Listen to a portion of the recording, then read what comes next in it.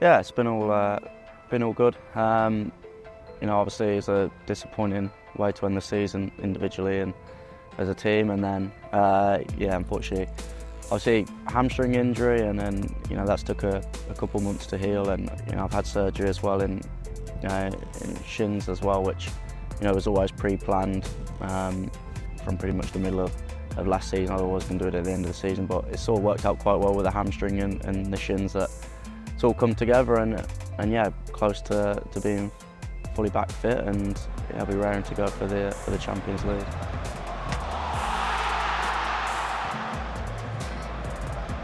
Yeah, um, yeah. Unfortunately, it was uh, pretty pretty instant. You probably see in my face there's a bit of confusion because you, you like the moment. Obviously, it's an amazing moment, but you're not sure. You feel like, okay, that's not quite right. Um, yeah, I knew, yeah, pretty much straight away, and then sort of kept walking, and yeah, that was unfortunately the end, and um, turned out to be pretty, yeah, not a not a good one, but you know, it. The good thing is, obviously, at the time of it is we've had all all the off season to rest and. and pretty much give it loads of time and, and yeah, we're, we're in a really good spot now. I had something called compartment syndrome for since I was 20, 21, since I started my professional career and it's been managed throughout my career. I've, I've had sets of injections at times. Um, it's helped for a couple of years, but also the effects, you know, it's always been quite difficult. So I sort of, you know, made the decision um, that if I, you know, if I ever sort of come back and, and I felt the pain that I did, that I'd always have an operation. And it's, it's a pretty, pretty straightforward. Everyone's happy with the with the outcome and feel great now. So hopefully, uh, you know, that that's the end of that. But yeah, you know, I can still manage it. I still played a lot of, you know, last season through a lot of pain. So it's it's not like, you know, it's, it's the worst thing in the world. But hopefully, it's some, you know, just an extra 20, 20 percent that I can give myself, uh, you know, in, in, in the coming years.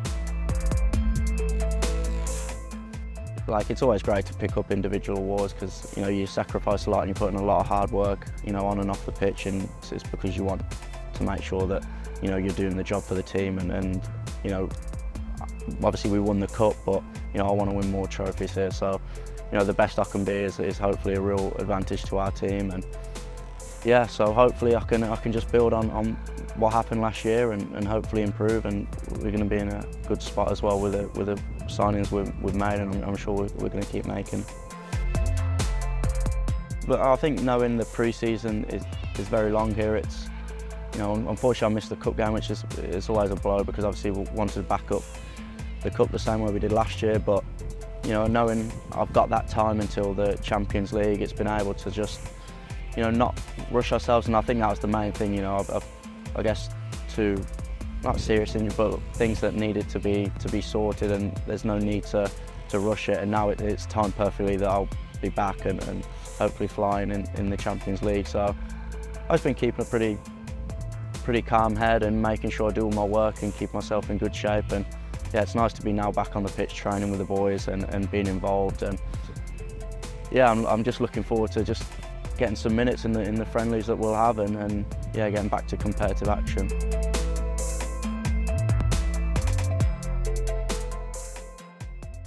You know, I don't know the statistics, but I, we must have been, you know, the top top scorers at home, or, or one of them, especially, you know, from the moment Uffy come in. I mean, you know, there's always goals in our game. There's always excite, exciting play, and and we're always aggressive and on the front foot. And the players we've added so far in, in pre-season, you know, and I'm, I'm, sure there's still a lot of hard work behind the scenes as well to, to bring in a, a couple more as well. So, you know, it's going to be, I think, a very exciting season. I think we're going to play play some very good football, and I'm sure as well there's going to be a lot of goals to celebrate.